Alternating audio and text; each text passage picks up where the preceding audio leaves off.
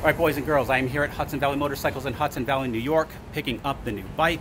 It is the 2022 Ducati Multistrada V4S with a little bit of customization built into it. Let's take a look. So one reason I like the Multistrada 950S is because of this beautiful red here. And on the Multistrada V4S, you have this silver panel right here. That's what that looks like. But I noticed that on the Sport model, you have a red panel. So what I did is I special ordered the red panels off the Sport model to put them on my model to make a completely red bike. And here's how she looks. Absolutely breathtaking. That person agrees. So this part right here was silver. And now we have a red bike, Ducati red. And I'm loving every second of looking at this bike. Okay, here she is with the panniers on it. I think I might have said panniers or something like that forgive me, this is the first time I've ever had a motorcycle that has storage. I have not heretofore been the type of man that has a bike like this, and now I am. So far, I have ridden about 40 feet, and I had to pull over at this gas station to fill up and to get some sustenance. Double chocolate Nesquik and Reese's snack cakes, because your boy didn't eat lunch yet. There are more important things to do than eating. Okay? Yeah. Here's my first official mod. There we go. Much better. Well, technically these are my first official mods. Let's do another mod here for a few extra horsepower. Weight savings. Lighter is faster. All right, as you can hear from the cicada, it's over 90 degrees out here in New York. I have never had a bag that carries stuff, and I am loving this so far. Carrying all my stuff. You could even fit a helmet in there. And of course you can get the rear one too, which is a lot bigger. But I've got tons of cameras stuff and equipment in there. First time in my life I've ever had that. I gotta say, it is super convenient. Loving it. Just got back from my maiden voyage and I've got a lot to say. Something's wrong with my throat. Introducing the most powerful adventure motorcycle and most high-tech motorcycle in the world. This is the 2022 Ducati Multistrada V4S Travel and Radar version. I will mention that in the United States, you can only get the V4S. You can't get the regular V4, and you wouldn't want it anyway, because this motorcycle is packed with so many features, it can make the motorcycle fit you like a glove. And you want your motorcycle to be fit to you and not the other way around. That said, I have a Ducati Diavel 1260S as well as a 2021 Monster 937. So why did I buy the Multistrada? Because instead of being sad that winter is coming, I wanted to be glad that winter is coming. And now I am. This is going to be my winter bike or my any season long touring motorcycle. Anytime I want to ride in comfort and be protected by the elements and be babied by these heated seats and heated grips, adjustable windscreen, fully autonomous suspension, off-road capabilities, and any number of other luxuries, I'm going to take the Multistrada.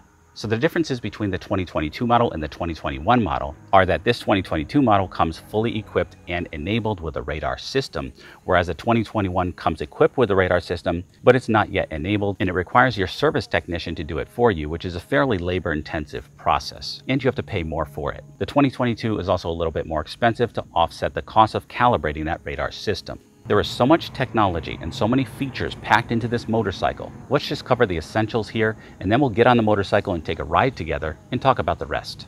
The Multistrada comes with a 1200cc 90 degree Gran Turismo V4 with a counter rotating crankshaft, which helps to improve the handling and agility of the motorcycle.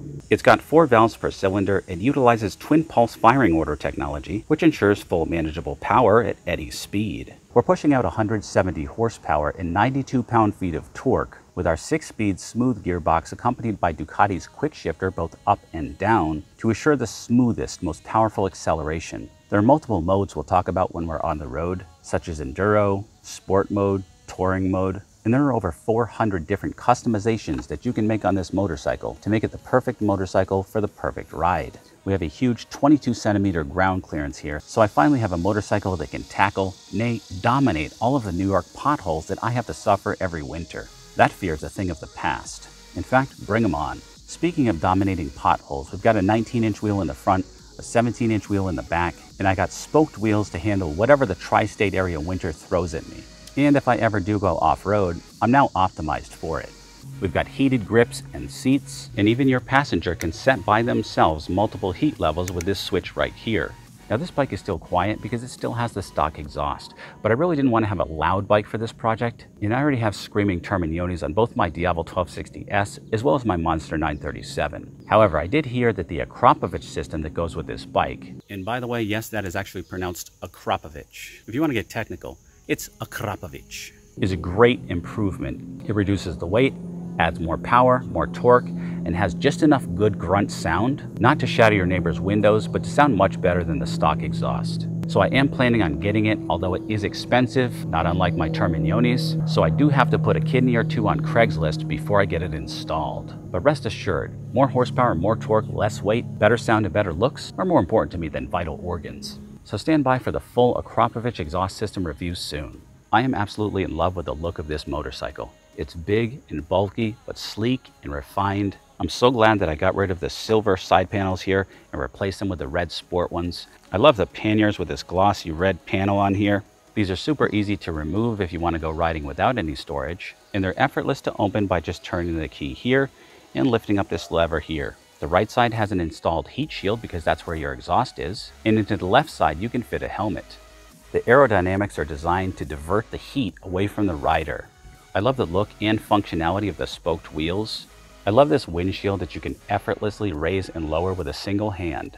This 6.5 inch TFT color display is beautiful, and here's where your warning indicator lights are if a car is approaching you from the rear. This is the front facing radar, and this is the rear facing radar. But enough talking. Let's go for a ride.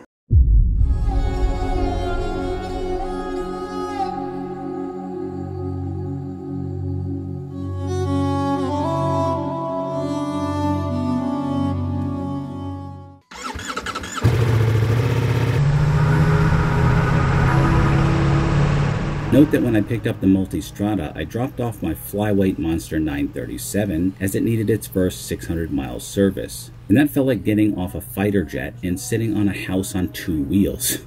The Multistrada is big, it's muscular, big and strong like a lean bodybuilder, yet the wet weight is only 529 pounds. There are four modes including Sport with 170 horsepower, Touring with 170 horsepower, Enduro with 115 horsepower, and Urban with 115 horsepower.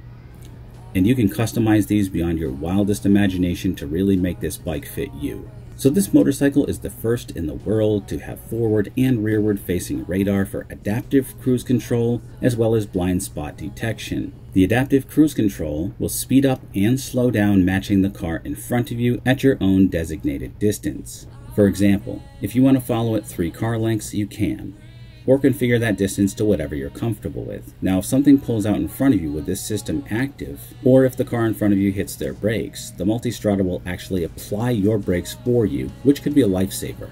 It won't bring your bike to a complete stop because really you don't want to fall over, but it gives you more than enough time to take the controls. I'll do a whole separate video testing out the radar systems. This bike has keyless operation, which is always nice. I have it on my Diavel 1260S, but it's sadly missing on my Monster 937. But the Monster is at a lower price point, so I get it. You have full LED headlights with daytime running lights, as well as cornering lights, so the lights will peek around the corner for you as you go. At idle, the bike turns off the rear bank so it operates on two cylinders shutting off the rear two, and this cuts down on heat for you and your passenger as well as improves fuel economy. It's an awesome technology. It's quiet, but you can hear the rear bank gently turn off and then engage again when you start to release the clutch. It feels like you're sitting on a high-tech Lamborghini of the motorcycle world because you are.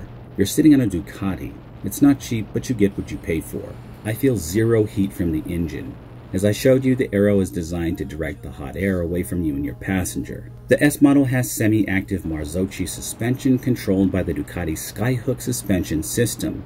So the concept and execution of Ducati's Skyhook suspension system is the bike is hanging from the sky like on a skyhook, and the wheels are just adjusting based on the terrain below as you basically float on a cloud.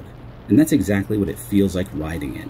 You can use your GPS from your phone on your screen, similar to Android Auto or CarPlay. It does require a third-party app and is reportedly quirky, so I'll be doing a separate video on that.